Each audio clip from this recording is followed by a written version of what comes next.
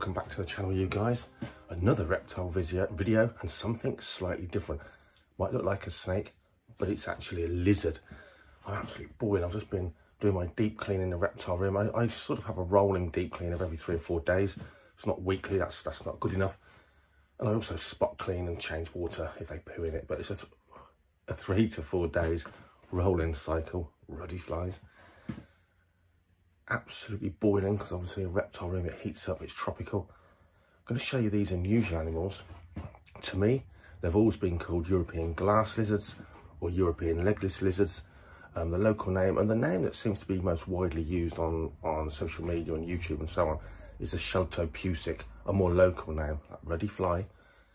Interesting lizards. Um, we have the slow worm here in the UK, a small legless lizard.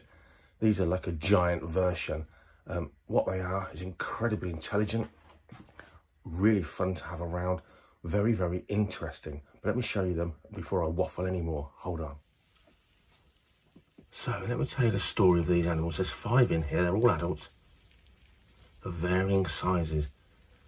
Unfortunately, Sheltopusiks are almost not bred anywhere in the world in captivity. Has been done in Australia, strange enough, in a zoo, and one or two other people, I believe. Hmm. it seems the key is to get these animals properly hibernated, properly brumated down to five degrees Celsius, really properly cold. That seems to be the trigger. Where they live, these are probably Uzbekistan animals. I've been told by the colour, they they range widely across Europe. You're looking at freezing, freezing temperatures during the winter. I can't, I can't throw me away for love nor money. Just hanging on to my fingers, getting there. Freezing in the winter, quick, get, get it quick. Get it. And really hot summers. So the story of these particular animals is they were handed in with the several others to a reptile rescue as really sickly ill imports the guy, this is the story I was told. The guy was fine. He walked in with a bag and said, oh, can I leave these with you? The bag was opened and they were deemed, we think the guy had deemed them unfit to actually sell on. They were in such a state. They were covered in sores and wounds. You can still see some of the sort of the scarring on this animal.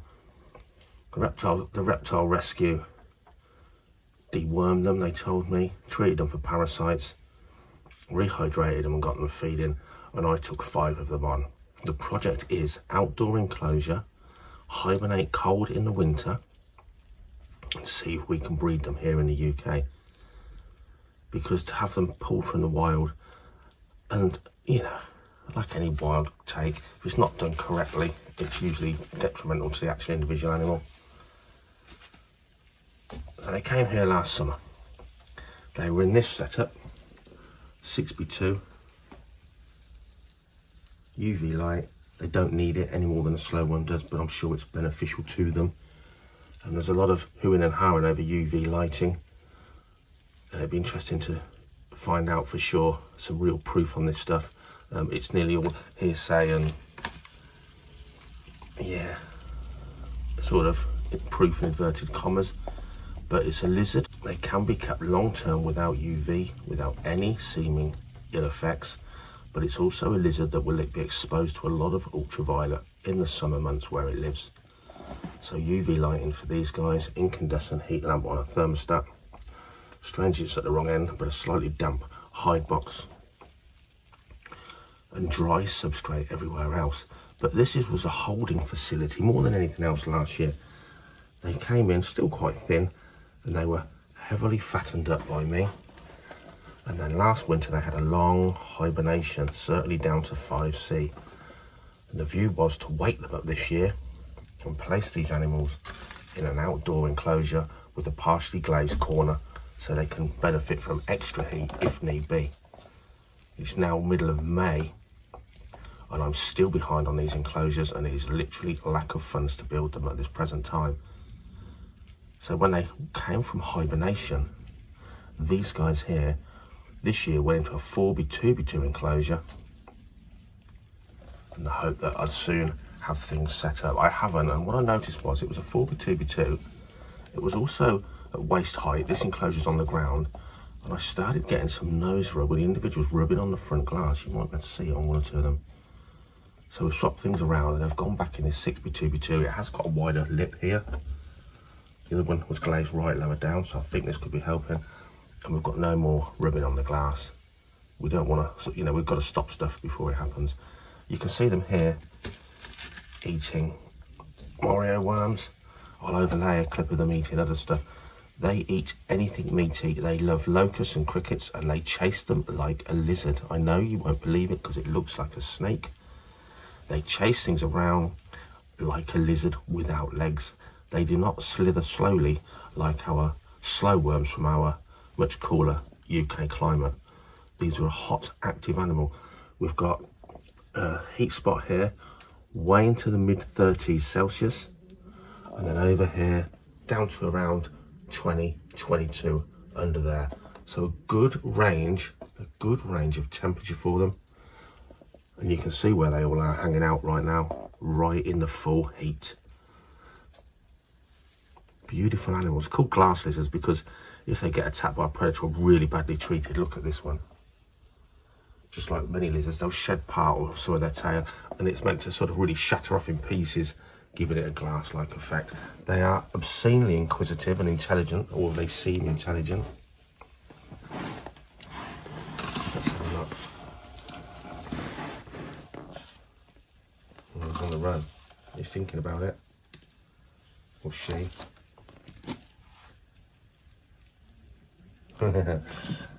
they always want to come out and explore as soon as the doors open. You can see on this one, this is partly shed skin here because obviously it's not a snake, so it just come off in pieces particularly.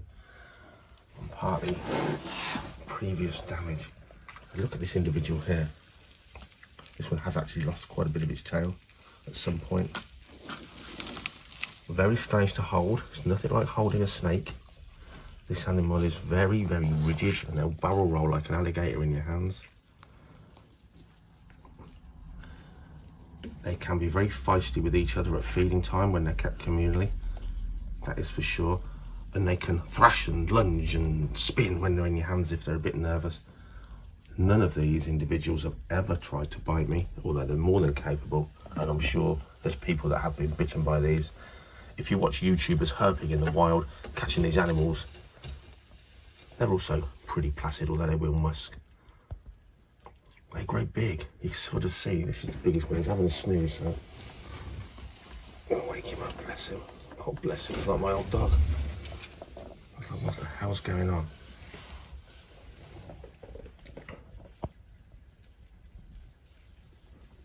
wakey wakey.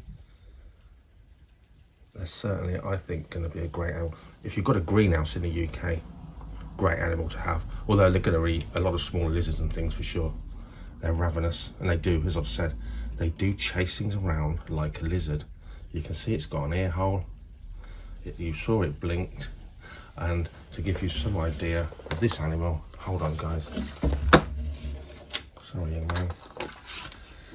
Its body, its body, its body ends here. Hang on. Body ends here. Cloacas around there. Huge tail, and of course we know the snake is all body with a relatively short tail. So to the uninitiated, we've got an animal that looks a little bit like a snake, but he's actually very much like what it is, which is a lizard without legs. Hello. You can see a little bit of nose rub on there.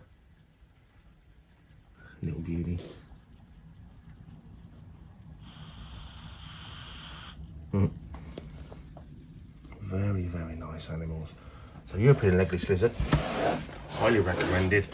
And the only reason I don't recommend you get one is because like these, they're pretty much all wild taken.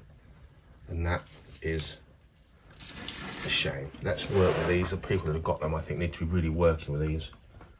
Getting them into good condition. And getting them breeding. The perfect setup would definitely be a greenhouse setup, especially hibernation in the winter to make sure they do get down to a temperature. You can see how inquisitive they are. Nothing like watching a giant slow worm or even a blue tongue skink, the way it goes along. Obviously no traction here on the smooth floor. Hello. Hello. Pushing himself along like an inchworm. Let's get him back in there. In the wild, they eat a lot of invertebrates. They eat birds' eggs on the ground. They absolutely go mad for snails. I don't feed these snails particularly because although I can harvest lots of wild snails, snails are an intermediate host for an awful lot of parasites. I'll tell you what they do, like any insects you want to throw in. Hard-boiled eggs they absolutely love. Hard-boiled an egg, chop it up with the shells on, shell and all. They feast on those and that's a good source of calcium. Not much different, I'm sure, to a snail shell. So just remember, really good hot spot in certainly mid to mid to high 30s Celsius. But make sure they can escape it. Really are, really are a wonderful pet lizard. A wonderful pet lizard. There he goes, barrel rolling. And very much. Think of a think of a long big skink that's lost all of its legs.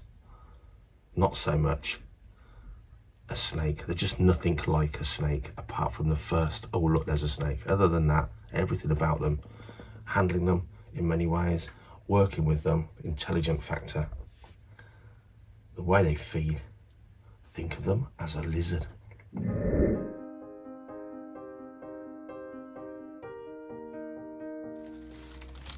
So there they are strange looking beasties, still quite cool.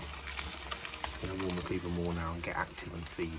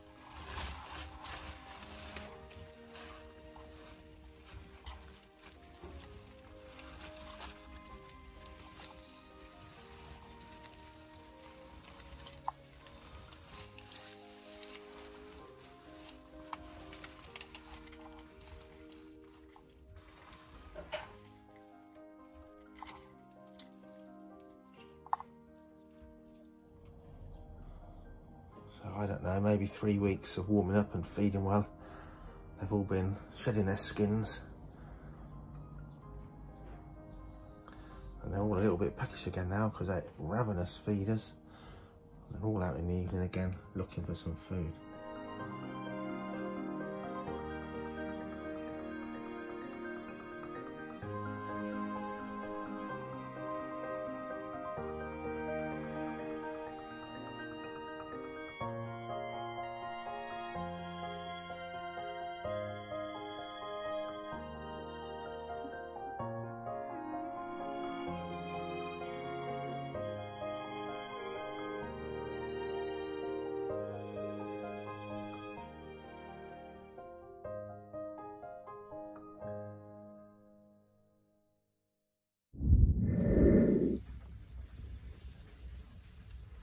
Like a lot of reptile pets, don't get them unless you really, really want one.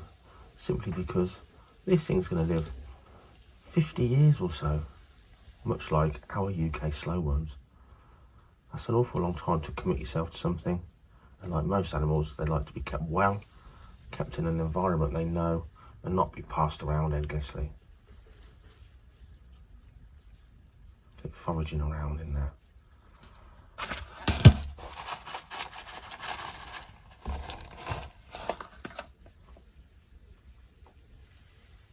Else to give you some idea of their kind of feeding behaviour. These guys rapidly, happily and quickly will grab a mouse off a forceps, a frozen thawed mouse, and swallow that down as well. Doesn't want to be any thicker than its head, slightly smaller really. But yeah, small mice, quite happily on the menu. Bits of day-old cockerel, quite happily on the menu. I'll also feed them a high quality cat food. I'm talking the dry pellet type cat food and occasional dog food pellets. Sometimes I eat it with relish, sometimes they seem to have no interest whatsoever. Um, maybe more so when I got them and they were really hungry, and less so now that they get a well-fed, varied diet.